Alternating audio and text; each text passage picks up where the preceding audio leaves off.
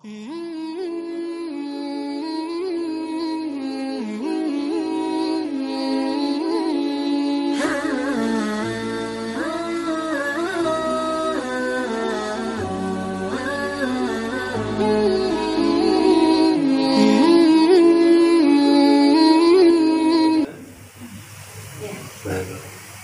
Jakarta 19 Oktober 1988. Eh, ayah masih ada? Ada, Ibu? ada. Tahu mau masuk Islam? Ibu tahu, karena bapak saya sama ibu saya udah pisah. Oh, baik, baik. Kenapa mau masuk Islam? Eh, karena saya melihat di agama saya yang lama itu kurang kurang seret gitu. Kalau di Al-Quran kayak saya lihat saya dengarkan dari YouTube YouTube itu khotbah itu kalau eh, bahasa dan tulisan itu nggak bakal bakal bisa berubah gitu. Baik. Yakin, Mbak? Yakin mau masuk Islam? Yakin? Baik.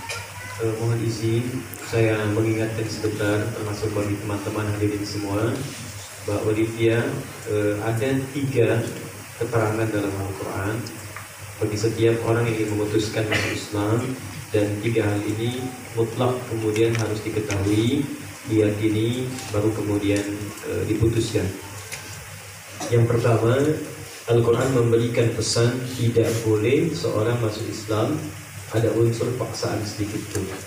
Terdapat di Quran surah kedua Al-Baqarah ayat 256. La ikraha fiddin. Tidak boleh ada paksaan bagi seseorang yang masuk ke dalam ad-din atau menunaikan amalan-amalan dalam ad-din. Yang dimaksud ad-din di Islam Quran surah ketiga ayat 19. Inna ad-dina 'indallahi Islam. karena itu saya ingin memastikan kata Al-Quran masuk Islam harus ada kesadaran yang paling dalam dari hati tidak boleh ada unsur paksaan baik lembut ataupun kasar baik Mbak Olivia ada yang paksa untuk masuk Islam Nggak ada. yakin Yakin? Baik ya. Itu lihat CCTV di situ. Barangkali ada wajah-wajah yang pernah memaksa tidak ada. Tidak ya. Tolong eh, Bapak Ibu saksikan ya bahwa beliau murni dari pribadinya ingin Islam dan yang kedua mohon maaf ya di Islam tentunya ada ibadah seperti di kepercayaan lain ada ibadah. Dan kalau sudah masuk Islam kata Allah ini wajib menunaikan ibadah itu yang dengan ibadah itu diharapkan kita menjadi lebih baik. Ada sholat ya ada puasa kemudian juga nanti kalau ada peluang ada umroh ada haji itu di Quran surah kedua ayat 208 ya ayyuhalladzina amanu dkhulu fis-silmi kafah hai orang-orang yang telah masuk Islam beriman maka dengan imanmu itu kamu harus beribadah ya dengan kemampuan kamu secara menyeluruh. Bahwa Olivia yakin mau masuk Islam siap nanti menunaikan sholat? Siap. Kalau bangun pagi jam berapa Jam setengah empat. Oh, setengah empat, masya Allah, luar biasa ya. Sudah siap pertahankan ya Mbak ya. Ya, nanti ada sholat subuh ya. Tapi setengah lima, kalau setengah empat belum subuh ya. Masya Allah, ya bisa tahajud. Baik, yang ketiga ini yang paling penting. Ibu agamanya apa? Kristen. Masih Kristen, baik. Ibu mengizinkan Mbak masuk Islam. mengizinkan karena kebetulan kan suami non muslim jadi dibilang kalau imamnya bisa kamu bisa eh, bawa yuk apa bawa olive juga semakin membaik kenapa enggak gitu Baik, baik. Alhamdulillah. Sudah ya. Nah ini ada ketentuan terakhir sebelum saya bantu untuk syahadatkan di Quran surah ke-31 Bapak Ibu ayat 14 sampai 15. Khususnya di ayat 15-nya wa jahadaka 'ala an tusyrika bi ma laysa laka bihi 'ilmun fala tuti'huma wa sahibuhuma fid dunya ma'rufa. Kata Allah, kalau kamu sudah berislam, kemudian dibawa oleh orang tua untuk dipaksa ikut kembali kepercayaan semula, kalian tolak dengan cara yang lembut. Lembut.